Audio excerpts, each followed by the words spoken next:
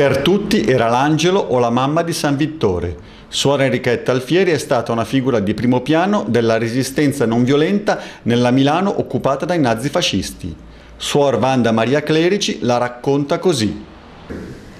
Suor Enrichetta Alfieri è una suora della carità di Santa Giovanna Antida Touré che ha vissuto quasi tutta la sua vita di servizio al carcere milanese di San Vittore in piazza Filangeri. Lei giunge al carcere nel 1923 e vi rimane fino al giorno della sua morte nel 1951.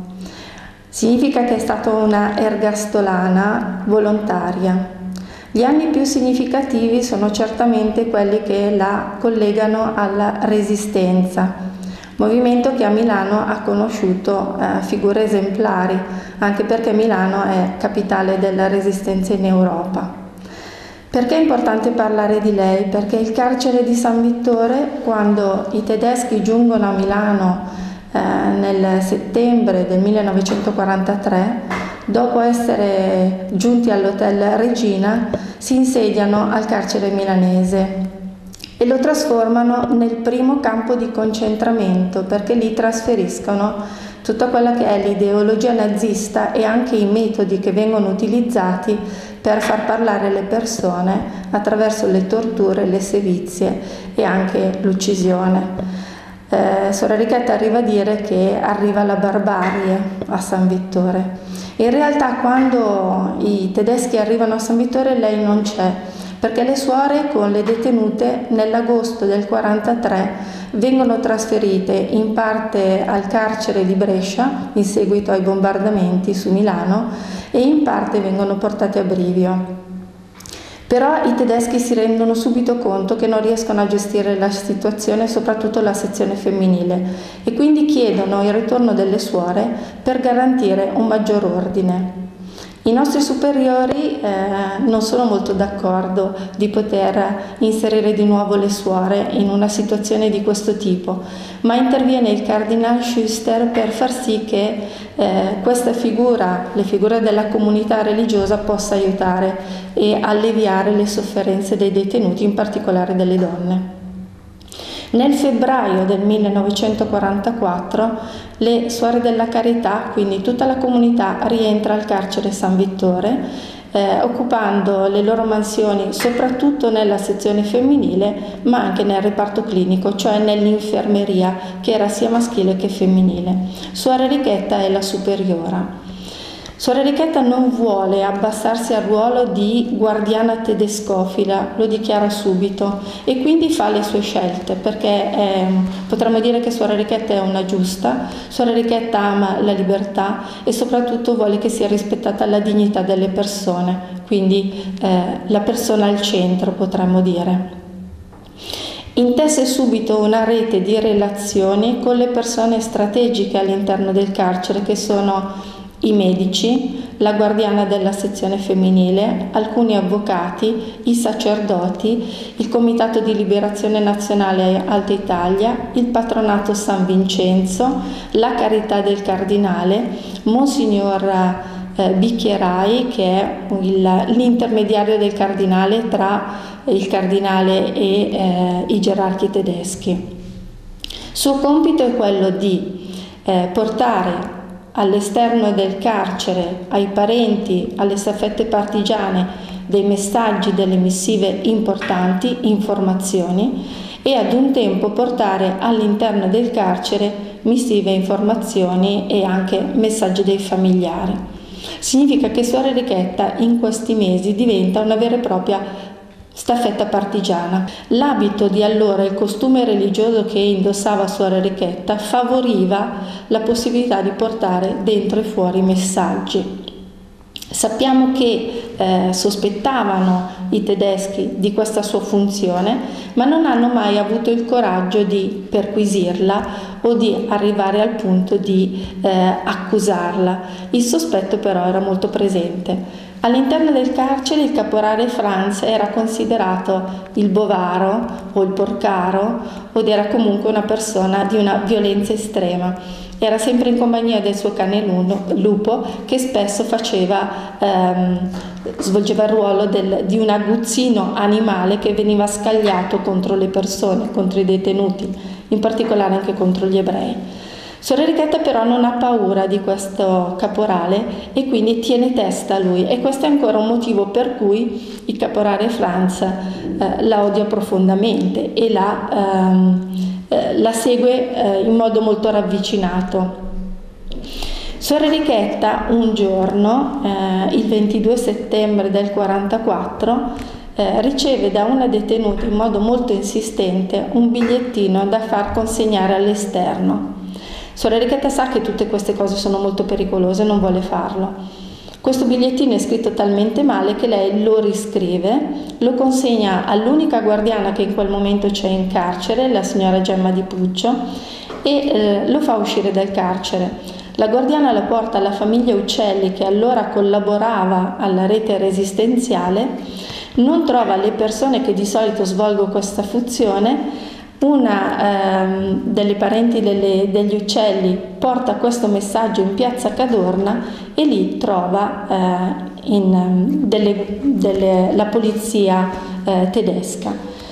Significa che subito dopo Suora Enrichetta sarà arrestata. Il 23 settembre Suora Enrichetta viene arrestata con l'accusa di spionaggio, intesa con il nemico e la pena per lei dovrebbe essere la fucilazione. Viene sottoposta ad interrogatorio, non viene per fortuna perquisita perché oltre ad avere tutti i messaggi compromettenti, Suora Enrichetta reca con sé anche i soldi che venivano utilizzati per il fondo a favore dei detenuti.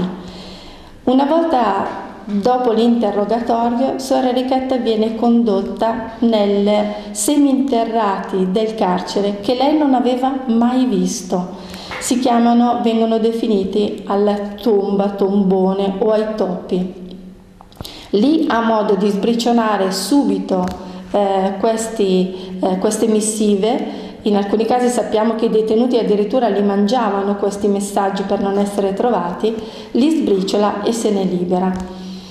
È una situazione molto particolare perché Sor Enrichetta sa che potrebbe essere fucilata, sa comunque che il Cardinal Schuster farà qualcosa a suo favore, come di solito interveniva sempre a favore dei sacerdoti, delle religiose o anche di particolari figure arrestate. Che cosa teme di più? Non teme tanto la morte, perché sa che comunque ha svolto il suo ruolo a favore della giustizia, della libertà e si ritiene un'italiana, teme più che altro che eh, succeda qualcosa di diverso, che lei non sia uccisa ma possa essere trasferita ai campi di concentramento.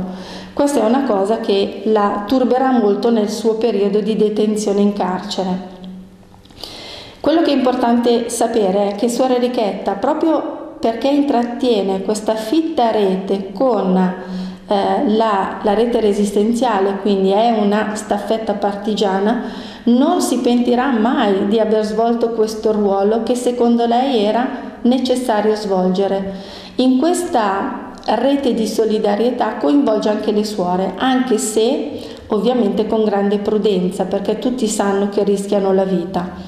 Un'altra funzione che lei svolge ed è testimoniata da Mai Buongiorno, da Indro Montanelli, queste sono le figure più importanti, però probabilmente l'avrà fatto anche per altri detenuti, è che quando queste persone possono passare dalla infermeria maschile a quella femminile, durante la notte, quando i tedeschi rallentano la sorveglianza, lei fa incontrare Mai Buongiorno con la madre che era anch'essa in carcere eh, Indro, il dottor Indro Montanelli con la moglie.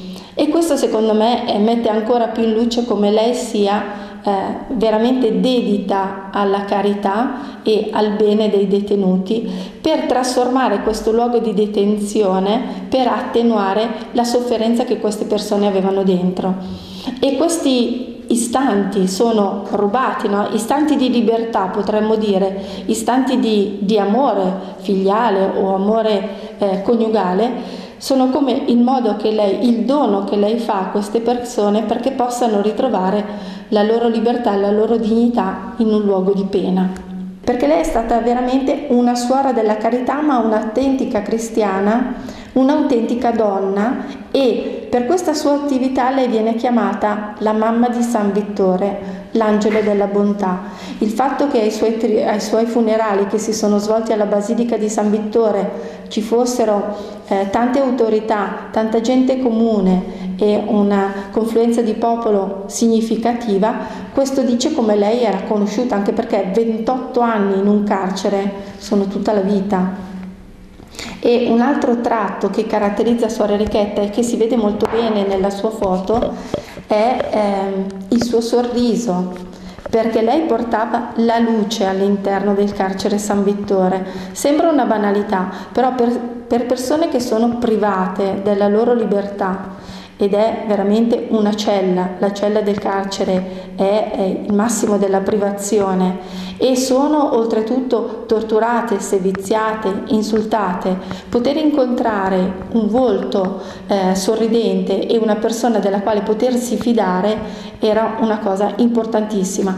Tant'è vero che i testimoni, tra cui Monsignor Barbareschi, Paolo Liggeri, Mai Buongiorno stesso e anche Indro Montanelli dicono delle suore ci si poteva fidare, di suora Enrichetta ci si poteva fidare, perché comunque all'interno del carcere i tedeschi, i fascisti introducevano dei delatori e quindi di nessuno ci si poteva fidare. Ecco, lei crea questa rete di fiducia, eh, di carità, di sostegno e non è solo spirituale o morale, perché comunque sua premura era fornire di viveri chi partiva, di indumenti se partivano per i campi di concentramento, di una carezza, di un messaggio o di ricevere qualcosa che poteva essere dato alle famiglie. Un'azione veramente importante. Ancora oggi Sora Richetta è ricordata come la mamma di San Vittore. Per le sue opere e per il suo esempio, Suora Enrichetta Alfieri è stata proclamata beata da Papa Benedetto XVI.